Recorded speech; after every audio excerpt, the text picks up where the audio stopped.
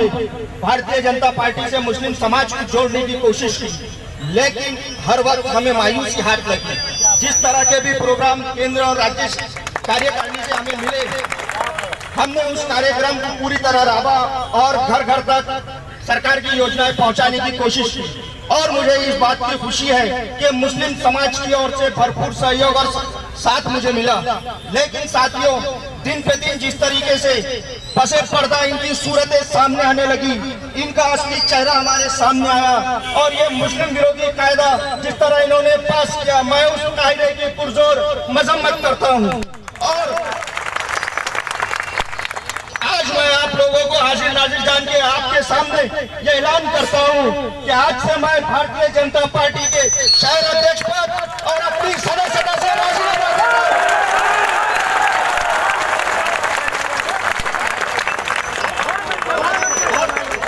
ऐसे ही हमारे समाज के खिलाफ जाए हमारे काम के खिलाफ जाए।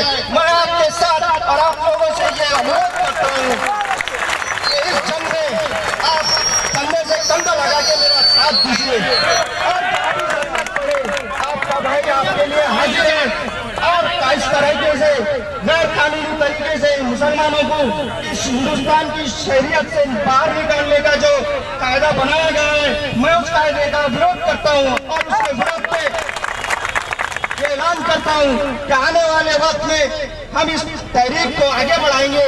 सिर्फ़ आज का दिन एक प्रदर्शन करके हम रुकेंगे नहीं, हम इस तहरीक को आगे बढ़ाएँगे ताकि ताकि इस मुल्क की हुकूमत, ये बात की मान ले कि हिंदुस्तान का शहरी मुसलमान जिसने अपनी शहादत दी, सबसे ज़्यादा मुसलमानों ने इस मुल्क को आज़ाद कराने में अपनी कुर्बानियाँ दी। ये एनआरसी और कैब सीएबी के ज़रिए से हिंदुस्तान से मुसलमानों को बेदखल करने की साजिश है। हमारी खामोशी को ये कमज़ोरी ना समझे। ये हमारी समझदारी और खामोशी है। लेकिन इसे हुकूमत हमारी कमज़ोरी ना समझे। हम हिंदुस्तान के हुक्मरानों को और जिस तरीके से देश के गृह मंत्री अमित शाह ने लोकसभा और विधान राज्यसभा में जिस तरीके से स्टेटमेंट दिए, इससे साफ़ ज़ाहिर होता है कि यह हुकूमत मुसलमानों के खिलाफ है और इस मुल्क से मुसलमानों को निकालने की साजिश रच रही है। कह के मैं अपना अल्फाज खत्म करता हूँ। शुक्रिया। देश को आज़ाद कराने के लिए अपना खून पसीना एक किया है। जितनी तादाद में नॉन मुस्लिम लोगों ने अपनी कुर्बानियाँ दी है, उतनी ही तादाद में या कमोवेश उससे ज़्यादा तादाद में हमारे कौम के आम लोगों ने और उलमाओं ने अपनी कुर्बानियाँ दी है। इतिहास गवाह है, तारीख गवाह है कि हमारे मुल्क के कई उलमाओं को एक साथ हज़ारों की तादाद में झाड़ों पर लटका के फांसी दी गई। मुझे लगता है कि मौजूदा सरकार उस बात को भूल गई जब मुसलमानों ने अपनी कुर्बानी पेश की थी। इतिहास गवाह है, अगर YouTube पर जाकर आप राम पुंजानी अगर YouTube पर जाकर आप राम पुनियानी देखेंगे और राम पुंजानी का सही इतिहास ढूंढेंगे तो बताएगा मुसलमानों ने अपनी क्या क्या कुर्बानी दी है।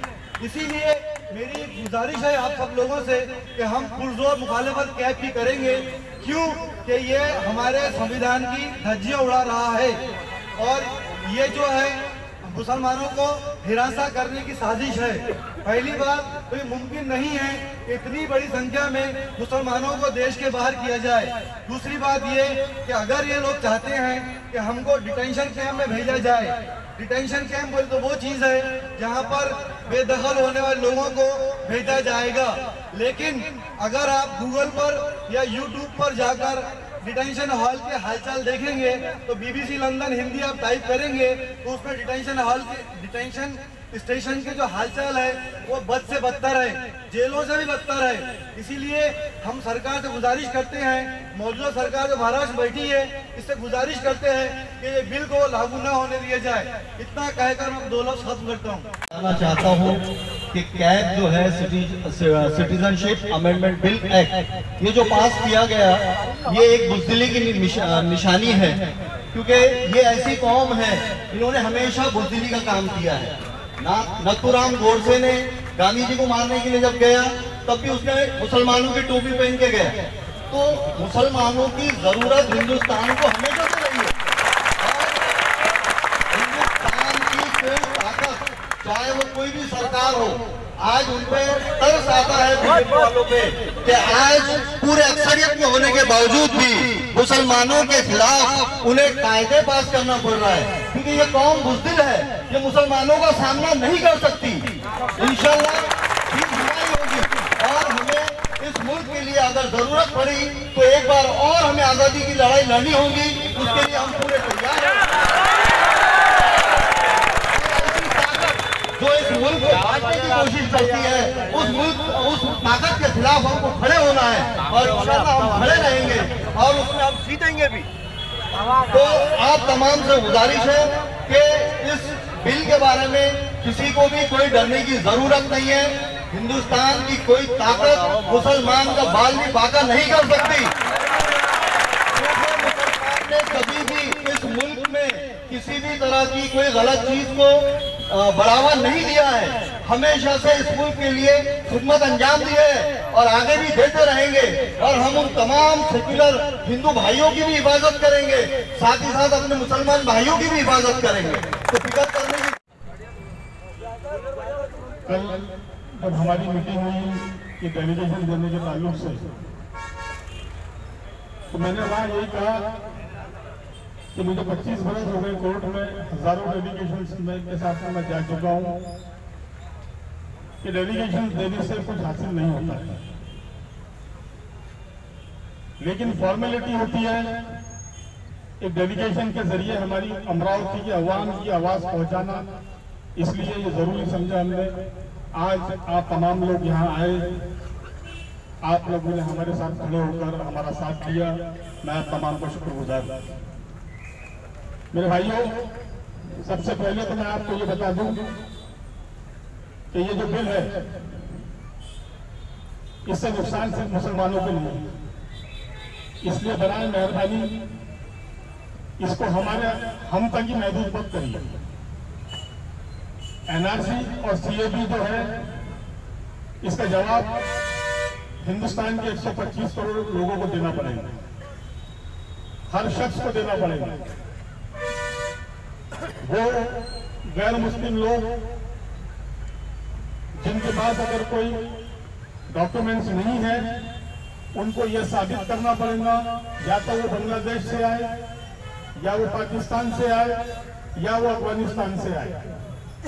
इसलिए ये जन आंदोलन के अंदर हमको सभी समाज को जोड़ना पड़ेगा। इसलिए कि ये हिंदुस्तान के संविधान पर कॉन्स्टिट्यूशन के ऊपर हमला है। हमारे कायदे में हमारे बीजेपी की सरकार आई। मुसलसल मुसलमानों के खिलाफ इन लोगों ने धीरे धीरे धीरे धीरे अपने जो एक जमाने अरसे से इनके जो मंसूबे थे, नागपुर इनका जो हेडक्वार्टर है सम परिवार का और उसके अंदर मुसलमानों के ताल्लुक से जो इनके इनके दिलों में, जो मंसूबे थे 2014 से केंद्र की मोदी सरकार उसको धीरे धीरे धीरे धीरे अमल में ला रही है। दोस्तों, यकीनन मुझसे पहले बहुत सारे मुकरियों ने आपके दिलों को और आपके जज्बातों को जोड़ने का काम किया है। कि हम कब जागेंगे? ये सरकारें धीरे धीरे एक बिल ला रही है और हम खामोश तमाशा बन के हर चीज़ को एक्सेप्ट कर रहे हैं तो मैं आज इस मंच से केंद्र की सरकार को आपके जज्बातों के मद्देनजर कहना चाहता हूँ कि केंद्र की सरकार ये समझ ले कि मुसलमान हर मसले पर अपना संयम, अपना सब्र इसलिए बता रहा है कि आने वाले वक्त में अगर उसके शरीयत पर और उसके मुसलमानों के जान माल पर जिस टाइम हमला होगा तो मुसलमान इस देश का खामोश नहीं रहने वाला है। मगर वक्त अब आ चुका है कि उन्होंने तीन तलाक पर मुसलमानों को छेड़ा। 370 पे मुसलमानों की दुखती को हाथ में लिया। बाबरी मस्जिद का फैसला सुप्रीम कोर्ट के ज़रिए मनवा लिया। अब आइए, आगे आगे होता है क्या? कि देश का मुसलमान इस देश के अंदर दुनिया नागरिक बनना चाहता है। कि देश का मुसलमान इस देश के अंदर, जिस तरीके से बर्मा के अंदर हमारे मुसलमान, रोंगियों मुसलमानों के साथ में जो हुआ, वो देश का मुसलमान देखना चाहता है। तो हमें ये देखना नहीं है। इसके लिए हमें एहतजाज करना पड़ेगा। और एहतजाज जिस एंगल से किया जाएगा उसी एहतजाज को हमको आखिरी लम्बे तक के काम करना पड़ेगा। हमने पिछले वक्त इसी जमीयत के माध्यम से हमने राजकमल के ऊपर एक आसिफा के मैदान में एक कैंडल मार्च किया। हमारा मकसद कैंडल मार्च था हिंदू, हिंदुस्तान की अवाम को जगाना, हिंदुस्तान की सरकार को बताना कि हम जागरूक हैं। मगर लोगों ने क्या किया कि मार्च खत्म होने के बाद में सरपरसन लोगों ने तोड़फोड़ की हम ये चाहते हैं कि आज का धरना आप लोगों को सिर्फ़ यहाँ बुलाया गया। और ये धरना बताने का तो इस देश की मुसलमान जागरूक है। ये आज इसकी शुरुआत हुई हुई है। आगे अमल बयानी होगी। आप यहाँ से जाए तो शांति प्रिय जाए, सुकून से जाए। वरना क्या होता है? कि आप कुछ करेंगे? मगर इसका जो भी कुछ हरजाना होगा, यहाँ पे बैठने वाले पंडाल पर जिन लोगों ने इजाज़त की हमारे उलमा ने जिन लोगों ने इजाज़त की उन लोगों पर केसेस लगती है। तो ये सारी चीज़ों पर आप लोगों को सोचना है। हमको बिल्कुल हमारे सरों के साथ में, हमारे इनकलाब के साथ में हमको आगे आना पड़ेगा। अगर तमाम बात तमाम हजरात की बातों में एक बात खास है कि हमें किसी से भी डरने की ज़रूरत नहीं है। किसी से भी नहीं। हम सिर्फ़ अल्लाह से डरने वाले हैं। ये रंगा बिल्ला से कभी भी डरेंगे नहीं। ये देश रंगा बिल्ला के बात का नहीं है। एक शेर बोलने के लिए सिर्फ़ मैं यहाँ पर आया हूँ कि आ गई है तो रहेगी, नहीं जाने वाली। आ गई है तो रहेंगी, नहीं जाने वाली। उम्र भर ये सफेदी अब नहीं जाने वाली। मैं मरूँगा तो इसी मिट्टी में दफन किया जाऊँगा। मैं मरूँगा तो इसी मिट्टी में दफन किया जाऊँगा। मेरी मेरी मिट्टी भी कराची नहीं जाने वाली। रंगा बिल्ला हम यहाँ से कहीं नहीं जाएँगे ये हमारा एहतजाजी जुलूस। आप सब यहाँ पर जो इकट्ठा हुए हैं, हम नहीं हुए हैं। पूरा देश जो है इसके खिलाफ है। हम नहीं चाहते कि किसी भी सूरत में इस देश की जो आइन है, जो जिस कॉलम पे इस देश को खड़ा किया गया है हमारे बुज़ुर्गों ने, उसको हम ढहने नहीं देंगे। हमारा किसी से, कोई जात से, कोई धर्म से, कोई किसी बाशिंदे से हमारा कोई दुश्मनी नहीं है। हम यहाँ पर अमन व अमान के साथ में रहना चाहते हैं। हमें कोई धर्म से कोई लेना देना नहीं। जब इस देश में सब एक हैं तो सबको एक नज़र से देखा जाना चाहिए। यहाँ के बाशिंदे हैं हम। हम यहाँ के किराएदार नहीं है। हमारा मुल्क है ये। हमने इसे सींचा है। हमने कुर्बानियाँ पेश की है। तब जाकर आज़ादी मिली है। आज हम कोई कहते हो कि तुम जो है, एनआरसी के बाहर चले जाओ। जो बिल लाया गया है, वो मुसलमानों के खिलाफ है। मुसलमानों को किसी भी तरीके से उलझाकर, किसी भी तरीके से उसकी मशाल को जलाकर ये हुकूमत जो है अपना काम करते आई है। और आयतना मुस्तकबिल में ये इसी तरह अमल पे काम करेंगे ताकि इनको हुकूमत चाहिए। हमें हुकूमत नहीं चाहिए, हमें अपना हक चाहिए। हम अपने हक की लड़ाई हमेशा लड़ते रहेंगे, चाहे हमारी जाने पेश करना पड़े, चाहे इस देश से हमको किस कोई भी सूरत में निकाला नहीं जाएगा। हम निकलेंगे भी नहीं किसी भी हाल में। ये जो बिल लाया गया है, ये मुसलमानों के खिलाफ वर्जी है। ये हमारे हमारे जो हक है, उसकी हक तलफी है। हम चाहते हैं कि इस बिल को जल्द से जल्द जो है रद्द किया जाए, ताकि यहाँ के हर मुसलमान, हर हिंदू भाई, हर समाज से, हर धर्म से ताल्लुक रखने वाले एक जान होकर इस देश को आगे बढ़ाए। देश की जो आज की हालात है, वो इतने बदतर है आप बता नहीं सकते। यहाँ की इकोनॉमी गिर चुकी है, यहाँ के कारोबार बंद हो चुके हैं, यहाँ के मजदूर जो है, रो रहे हैं। अब यहाँ से हमारी शुरुआत हुई है। इसके बाद अभी तो हमें अपने मकामात पे इसी तरह से अमल के साथ जाना है। लेकिन ये लड़ाई खत्म नहीं हुई। ये लड़ाई हमारी जब तक ये बिल कैंसिल नहीं होता, जब तक ये बिल यहाँ से इसको नेस्त नाबूद नहीं किया जाता। हम आखिरी सांस तक लड़ते रहेंगे। और वो वक्त आएगा, अगर इसके मुखालिफत में सब अहबाब को जिस वक्त जमा किया जाएगा, उसके सबसे पहले मैं आगे आगे रहूँगा। हमारे जमत के साथी रहेंगे। और इंशाल्लाह वो मामले को सब पूरी दुनिया और हुकूमत देखेगी।